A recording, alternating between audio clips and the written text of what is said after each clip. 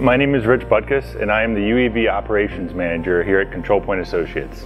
Control Point Associates is always on the leading edge of technology and we have a wide array of drones to get any job done. One of the newest technologies that we have is LiDAR. The LiDAR can be placed on the drone or walked around by hand in order to get all of the information that we need.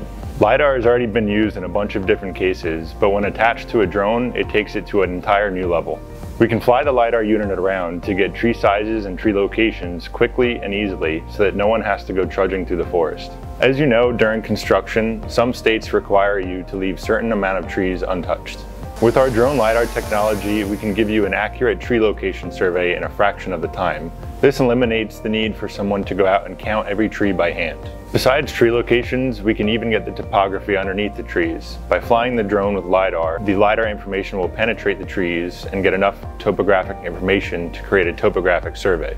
By using drone LiDAR, we can easily get topography for very difficult to get to places like cliff sides, mountainous areas, or steep hills. Drone LiDAR can capture things useful for inspection purposes. This could be for inspections such as power lines, cell towers, pipelines, or solar panels, or anything that needs to be inspected. The same drone can take extremely high resolution images. The images that are generated from this drone can see small features like nuts and bolts from a safe distance away. Besides LiDAR and high resolution imagery, these drones can also capture thermal data. With this information, we can detect things like heat loss from a roof, solar panels not working, or any other kinds of problems that might arise in your project. On top of all this new equipment for the drones, we can still conduct your typical topographic and location survey.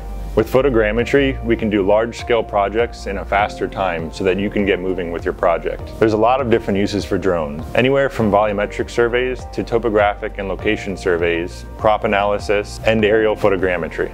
These aren't the typical drones that you can buy at your hobby store. We have a fleet of enterprise level drones that can fly higher, fly longer, and carry heavier payloads. Here at Control Point Associates, our UAV division can help with whatever project you might need.